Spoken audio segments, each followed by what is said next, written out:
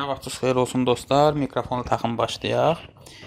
Deməli, bu günləri sizə PhD qəbulun barəsində məlumat verəcəm. Birinci hissəsində baxmamısınızsa, ə, videoya klik edib baxa bilərsiniz. Bu günləri isə ikinci hissəni çəkirəm. Sırf harda oxuduğum barədə, PhD qəbulu üçün hansı göstəricilər lazım idi, mən necə oldu ki, heç müraciət eləmədən bu universitetə qəbul aldım. O barədə sizə video çəkirəm və məlumat verirəm. Bu videonun 3-cü hissəsi də var. O hissədə isə sırf Kanadaya gəlmək üçün tələbə vizasına necə müraciət etmək lazımdır, hansı şərtləri ödəmək lazımdır və hansı sənədləri ora yükləmək lazımdır ki, biraz bizə üstünlük versin. O barədə məlumat verəcəm. Videoya keçməmişdən əvvəl bildirmək istəyirəm ki, kanala abunə olmağı unutmayın, videonu bəyənməyi də unutmayın və dostlarınızla da paylaşmağı istəyirsinizsə, buyurun, pulsuzdur paylaşmaq.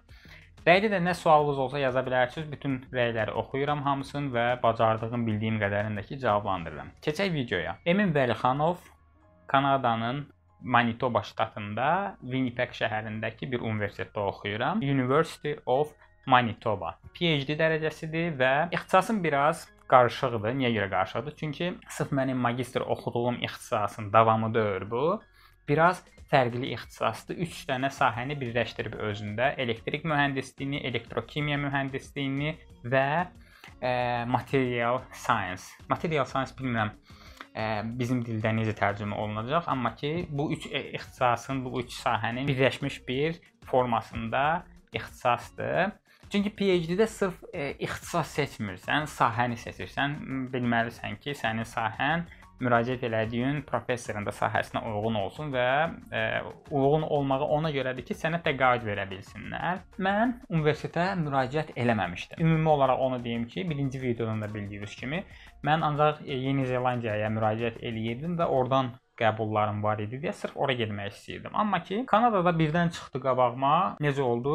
Həmin mənim professorum özü məni dəvət elədi və gözlənilməyən bir vaxtda özü mənə e-mail yazdı və PhD ilə maraqlanıramsa məni öz ə, research qrupuna dəvət elədi. Fikirləşə bilərsiniz ki, yəni birdən-birə hamıya gələn e-maildir. Axı mənə necə oldu ki, tapdı və yazdı? Deyim sizə. 2020-ci ildə mən magistri bitirmişəm və 2019-cu ilin sonlarından başlayırdım ki, hələ pandemiya onda təzə başlayırdı, dekabrda başlayırdı. Mən isə noyabrdan, oktyabrdan başlamışdım ki, graduate internship tapmaq üçün və yaxud da ki, graduate traineeship proqramları tapmaq üçün həmin vaxtı Kanadaya müraciət eləyirdim, Avstraliyaya, e, Yeni Zelandiyaya müraciət eləyirdim. Sırf internship üçün. Onda da bu universitet qabağıma çıxdı və mənim maraqlandığım sahə olan, həm də ki, magistr diplom işinə uyğun olan bir ə, e, sahə idi və universitetdə də ki, mənə lazım olan laboratoriya var idi. Fikirləşdim ki, yəni şirkətlərə də gedib internship keçmək olar, təcrübə proqramı, eləcə də universitetlərə gedib təcrübə proqramı keçmək olar. Mən də müraciət elədim. Həmin indi mənim professorum olan adamı tapdım və bir dənə pişiyi mən qapını açım, çölə buraxım, davam eləyək. Başa. Aha. Mən bu professoru tapdım və həmin professorundakı bu universitetin nəzdində olan bir institut var. O instituta e, direktorluq eləyir. Mən də yazdım ki, bəs e, sizdə internship və yaxud da ki, traineeship proqramları varsa maraqlanıram və gəlib sizdə research eləmək istəyirəm müəyyən bir müddət çərçivəsində. O da mənə dedi ki, bəs bizdə yoxdur hazırda qəbul international tələbələr üçün, yəni beynəlxalq tələbələr üçün Kanadada oxumayan və Kanadada qalmayan insanlar üçün kənardan qəbul yoxdur və ona görə də təəssüf ki, sənə müsbət rəy verə bilməyəcəm. Amma ki, mən e-maillarda belə bir trik eləyirdim. Yazırdım ki, traineeship bitəndən sonra mən sizin universitetdə qalıb PhD davam elətdirmək istəyərəm. Bu da xoş olar. Həmin o cümləni bu professor üçün də yazmışdım və işə baxın ki, həmin cümlə böyük bir rol oynadı ortada. Bilirdim ki, yəni nəsə gələcəkdə bir rol oynayacaq, amma ki, sırf ə, e, burdan Kanadadan heç vaxt o fikrimdə olmayan bir ə, e, təhsil üçün ölkə mənə belə bir şans gətirər. Maltada internship elədiyim vaxtda bu professor mənə yazdı yayda. Sən hələ də PhD eləmək istəyirsən bizim universitetdə yoxsa yox? Çünki bizdə sənin sahənə uyğun mənə qrant verilib və bu qrant üçün də PhD tələbələri qəbul eləyirəm. İstəyirsənsə səni bura əlavə eləyə bilərəm və intervyu eləyəyim. Mən də dedim ki, ola bilər, niyə də yox? Çünki ə, həmin dediyim kimi Macada iş təklifim var idi, öz yerində idi. Yeni Zelandiyada mənim PhD və ə, research assistantship position-a dəvətim var idi. Kanadadan da belə bir PhD qəbulu gəldi və mən dedim ki, ola bilər, niyə də yox. İntervyu elədi və intervyudan sonra da mənə prosesləri göndərdi. Dedi ki, bəs deadline bizdə bitəcək. Qış semestri üçün Amerika və Kanadadan kənar tələbələr qəbul olunmur. Amma ki, xüsusi bir istisna ilə səni mən qəbul eləyə bilərəm və mənim referral ə, məktubumla da university admission sənə qəbul verə bilər. Mən dedim ki, yoxlayaq. Hansı mənim ə, göstəricilərim var idi? IELTS onu deyim, yoxum idi mənim, hələ də yoxumdur mənim. IELTS nəticəm olmadan qəbul aldım. Sonra GPA-yə keçək. 73.27 bakalavr göstəricim idi. Master göstəricim isə 8.4 10 ballıq sistemdə. Və çox adam soruşur ki, mən bakalavrın qiymətləndirməsi nəzərə alınıb yoxsa yox, magistr təhsili nəzərə alınıb yoxsa hansı daha çox üstünlük verilib PhD qəbulu üçün. Ona sizə ətraflı ə, e, aydınlıq verim. Ümumi nəzərdə saxlayın ki, PhD-yə müraciət edən zaman sizin hər iki göstəricilərinizə baxa bilərlər, amma hər iki diplomu istəyəcəklər. Məndə necə oldu? Bakalavr qiymətləndirməmə baxdı, çünki bakalavrda da məndə uyğun mövzular var idi və uyğun fənlər var idi ki, mən e, onlardan yaxşı qiymətim var idi. Yaxşı qiyməti də necə var idi, onu bilirik təbii ki. Mən Bakıda oxumuşdum və e, nəysə onu keçək. Hə, amma masteri mən çox güclü oxumuşdum, onu deyə bilərəm. Yaxşı.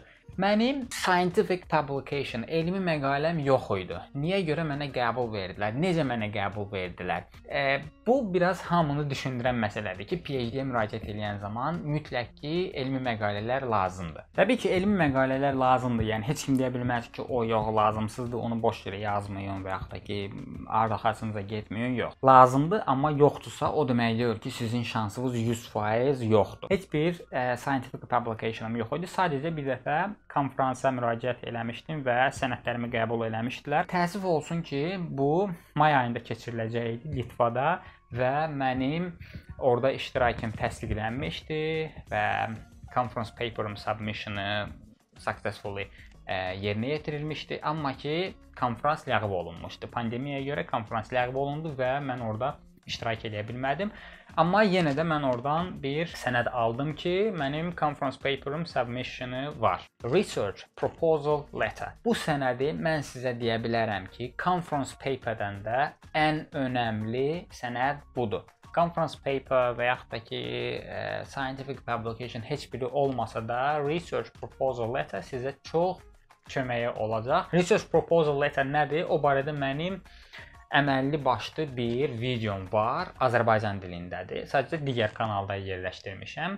Eduqadia kanalında onu da yoxlaya bilərsiniz. Azərbaycan dilində videodur. Ətraflı tam necə yazmaq lazımdır, nələri qeyd etmək lazımdır, o barədə məlumat ala bilərsiniz. Kanalı izləməyənlər varsa, mütləq ki, izləsinlər. Və research proposal letter mənə çox kömək oldu. Qəbulumun da demək olar ki, 90%-ni o həll elədi. E, supervisor məndən çünki onu istədi məndən istədi bakalavr, magistr diplomlarımı və research proposal letterimi. E, əlavə olaraq da məndən IELTS sertifikatı soruşdu ki, bəs varımdır? Dedim ki, yox. Əgər e, IELTS sertifikatı lazım olacaqsa, mən IELTS sertifikatına imtahan verməyəcəm, çünki mənim vaxtım yoxdur. Hazırda Maltada işləyirəm.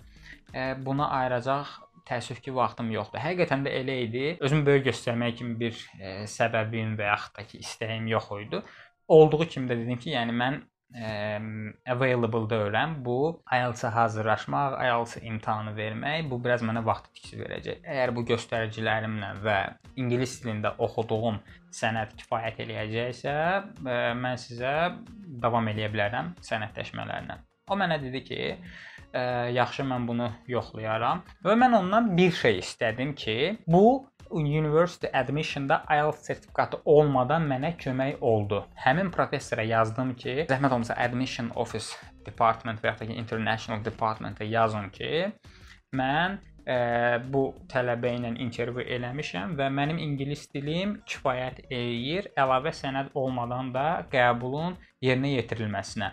Professor bunu e, rədd eləyə bilərdi və yaxud da ki, sizlər deyərdi ki, mən bu işlə məşğul olmaq istəmirəm. Yaxşısı budur ki, imtahan ver və sənədi e, gətir bizə, müraciət elə, qəbul davam eləsin. Amma ki, yox, professordan hər şey asılıdır. Professorla sizin danışığınız da asılıdır. Nə qədər professional danışsınız, bir o qədər də sizə xeyri olacaq. Mən də elə elədim. Professor əməlli istəyimi yazdım ki, yəni mən IELTS imtahanı verməyə hazır deyiləm və IELTS imtahanına hazırlaşmaq kimi də fikrim yoxdur. Növbəti illərdə də IELTS imtahanı verməyəcəm. O da elə yazdı və e, referral letter oldu bunun adı. Referral letter necə oldu? Professor qeyd elədi ki, həmin e, tələbənin yazılı və danışıq ingiliscəsi məni qane eləyir və bu e, tələbə ilə növbəti prosesə biz davam eləyə bilərik. Bu mənə IELTS sertifikatı olmadan kömək oldu. Hər yerdə, bütün universitetdə bu keçəcək? Yox. Yəni ə, elə bilməyin ki, sizin IELTS sertifikatınız yoxdursa, TOEFL sertifikatı yoxdursa, hər yerdə oxuya bilərsiniz. Yox. Sadəcə professor biraz supportive olmalıdır. Professorun da supportive olması üçün siz nələrinizi eləməlisiniz? Scientific publication və yaxud da ki, research proposal letter sizə daha çox kömək olacaq ki, professoru biraz maraqlandıra biləsiniz. Və beləliklə mən müraciət elədim. Təbii ki, University Admission yenə də yazdı ki, bəs zəhmət olmasa IELTS sertifikatı və yaxud da ki, ingilis dili göstəricisi olan hər hansı bir ə, sertifikatı yüklüyüm. Mən dedim ki, mən Litvada ingilis dilində təhsil almışam və təhsil aldığım müddətdə bütün kurslar ingilis dilində keçirilib. Hazırda da ingilis dilli ölkə olan Maltada işləyirəm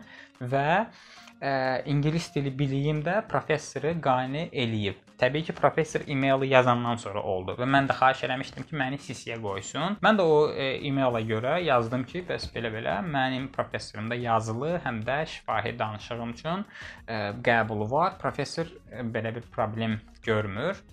Onlar dedilər ki, yaxşı biz buna baxarıq. Bir çox ölkələrdə ingilis dili sənədi olmadan tələbələrə qəbul vermə şərtləri var. Bu şərtlər nədən ibarətdir? Sənin vətəndaşı olduğun ölkə ingilis dilli ölkə olmalıdır və yaxud da ki, ikinci rəsmi dili ingilis dili olmalıdır və yaxud da sən ingilis dilli ölkədə ən azı 2 il və yaxud da ingilis dilli olmayan ölkədə sadəcə global company və yaxud da ki, international company-də hansı ki, ingilis dili environment var, ingilis dili ə, əhatəsi var, o şirkətdə ən azı 2 il işləməlisən və yaxud da sənin son 5 il təhsil müddətin ingilis dilində olub. Bu şərtlər qarşılığında səndən sənəd istəməyəcəklər. Məndə də təbii ki, bunların heç biri yox idi. Sadəcə ingilis dilində təhsilim var idi 2 il. E, Plusdakı mənim Maltada işim, universitetdəki professordan qəbulum və onun referral letteri mənə kömək oldu ki, IELTS, TOEFL bu kimi sənədlərlə, imtahanlarla məşğul olmayım, birbaşa qəbul alın. Bu qədər PhD qəbulun barəsində nə sualınız varsa rəydə mütləq ki bildirin. Suallar bilirəm ki olacaq. Rəydə yazmağa utanmayın, çəkinməyin. Bütün sualları cavablandırmağa hazıram. Üçüncü hissə də viza barəsində olacaq ki, ən önəmli məsələ, yəni bu qəbulun olsa da belə vizadan ə, qəbulun yoxdursa, bütün hər şey alt-üst olur və yaxud da ki, vizan da var, ölkəyə gedirsən, aeroportdan səni geri də qaytara bilərlər. Səhv eləsən. Bütün bunlar haqqında sizə məlumat verəcəm. Dəstək olmağı unutmayın, videonu bəyənin, kanala abunə olun ki, növbəti videolarda daha da çox motivasiya dolu sizlə görüşək. Özünə müğayət olun. Uğurlar hər birinizə. Hələlik.